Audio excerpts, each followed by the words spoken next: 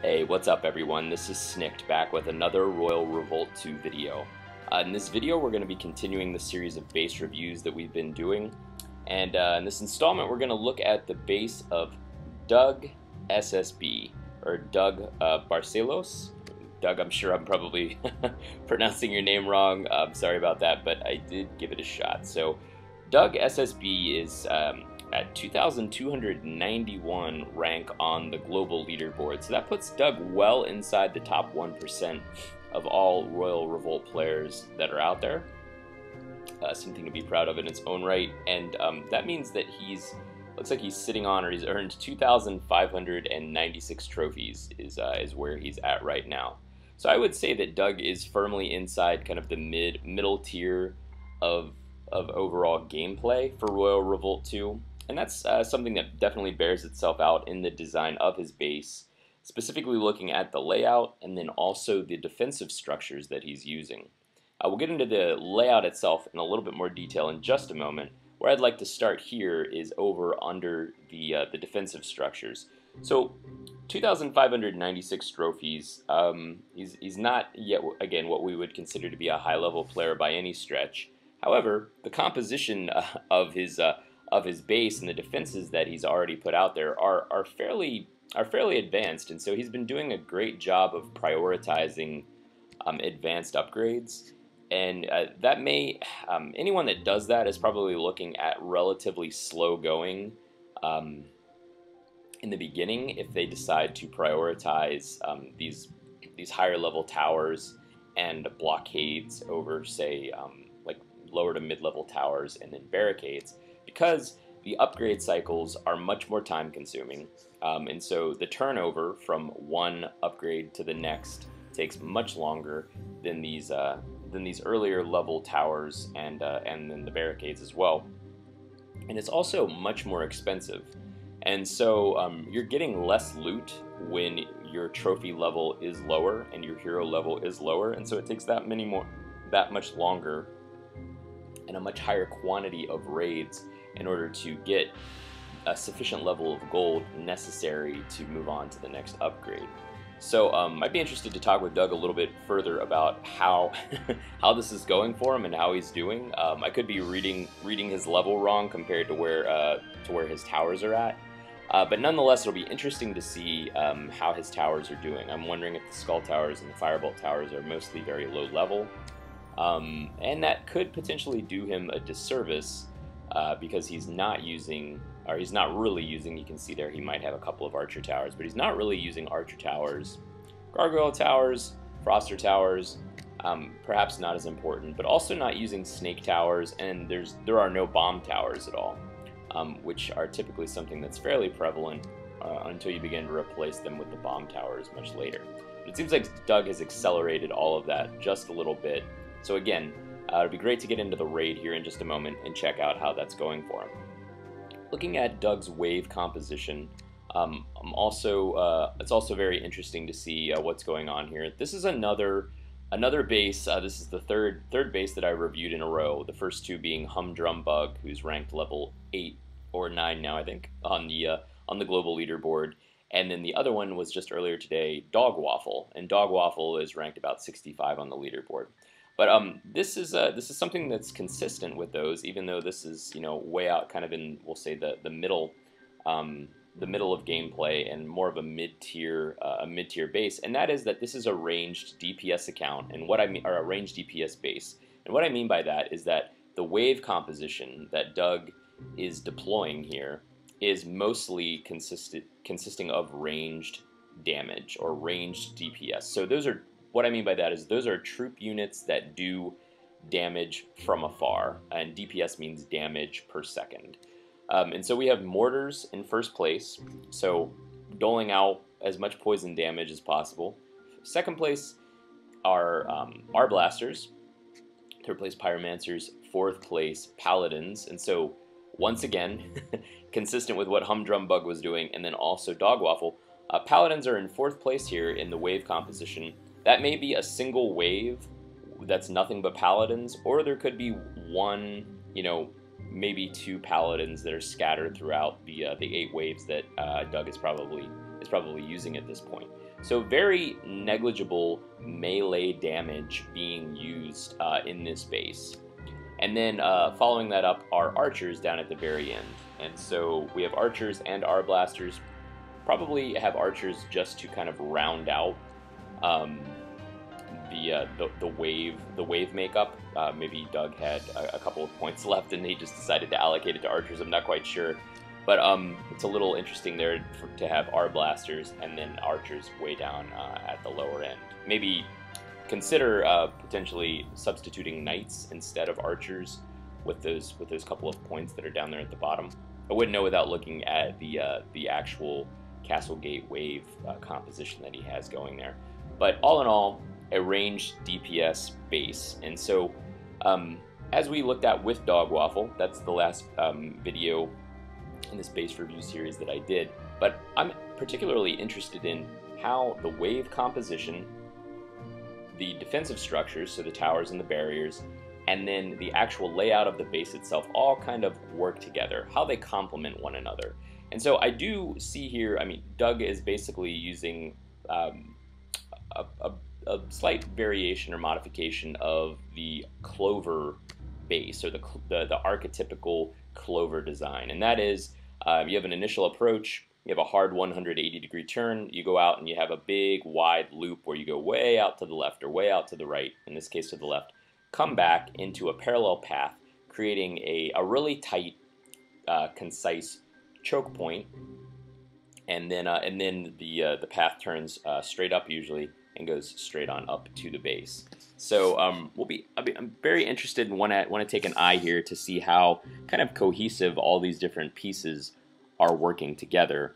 Um, another thing I'd note about the um, the wave composition is that uh, mortars, arblasters, pyromancers, that's five uh, five wave points, four and four, and so um, I'm not sure how how high Doug's leveled up his waves at this point, like how how many um, yeah, how many so how many morale points um, he's he's allocated to his waves and how far he's been able to level those up because those begin to get aggressive in terms of upgrades as well.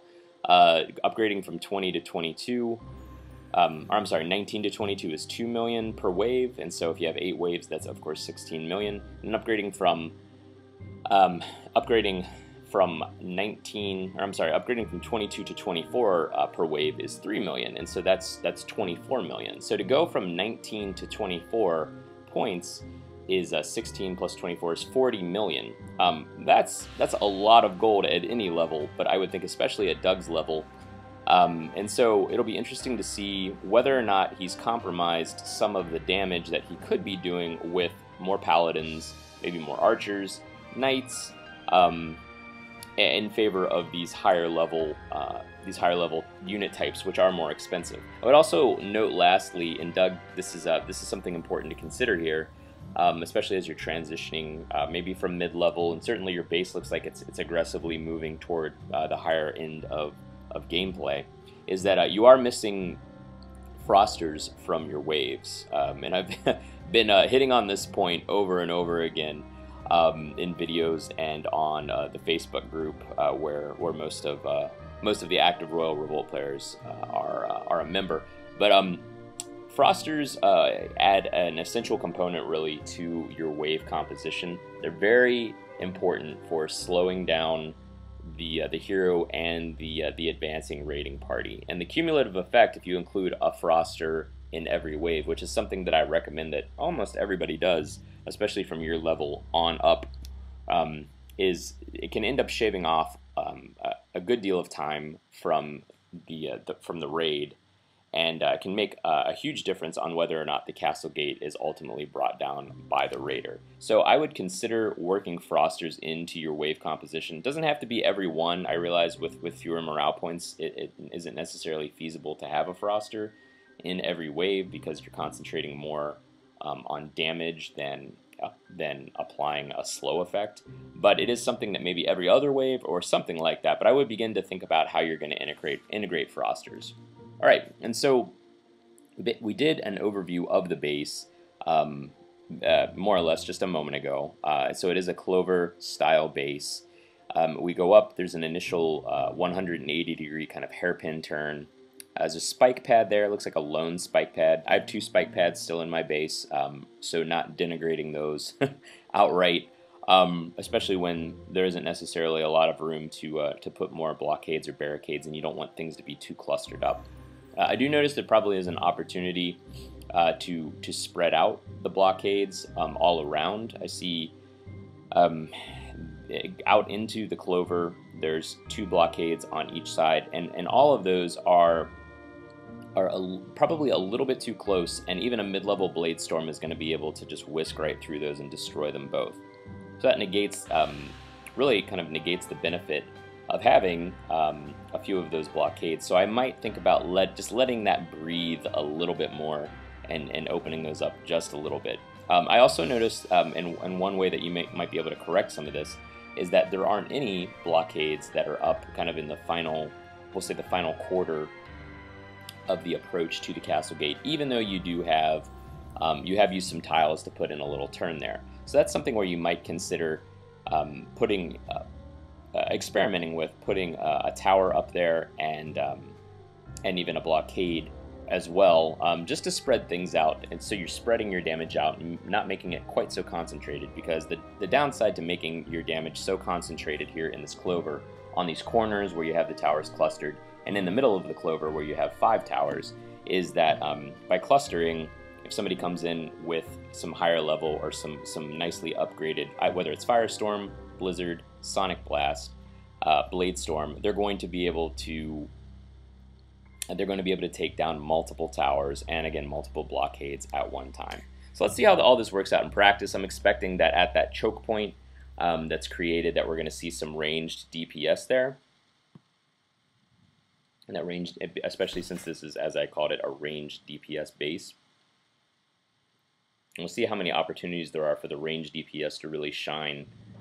Um, Alright, so I'm just going to spawn some Pyromancers and some Arblasters here. So we have a mix of ranged DPS. There's a Mortar, Pyromancer, Arblaster, and some Paladins. So that's actually all around a, a pretty good, a pretty good mix. And uh, across the way here, we do have a uh, we do have a Firebolt Tower. So I'm gonna bring out some cannons here real quick. Let them roll up and uh, and see if they can't take out that tower.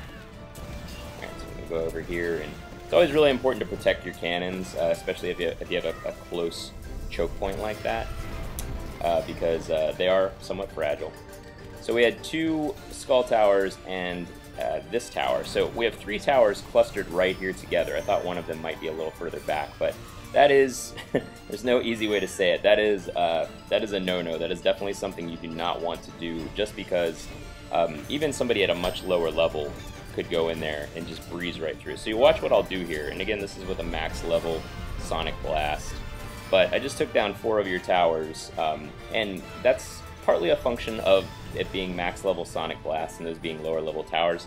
But understand that that's also a function of the towers being clustered together.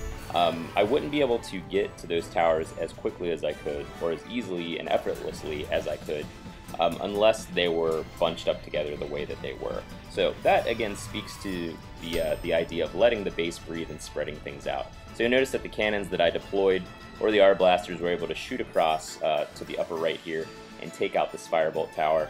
Uh, that's a good principle to keep in mind for all bases because uh, that that choke point is uh, just like by now a classic uh, design mechanic of, of any of any I won't say of any good base, but of most good bases. Uh, we have no um, resistance up here at the castle gate whatsoever, so it's just me and the castle gate. Um, and so uh, cannons and Arblasters are the best uh, at at taking down uh, those diagonally situated um, those diagonally situated firebolt towers or skull towers um, that are designed to lay down suppressing fire and uh, prevent the uh, the raider and the raiding party from effectively getting through there. So I like, I mean, the, the idea there is that it takes you have to go all the way through the clover to get back around to take out that tower, but that can be negated um, if somebody's smart enough to bring out a cannon or bring out a bunch of Arblasters, and the um, the targeting AI of those units locks onto that tower as it did in this case. So very good base overall, Doug. Uh, if you have any questions or comments, uh, feel free to hit me up in the comments or on the Facebook page. Thanks a lot.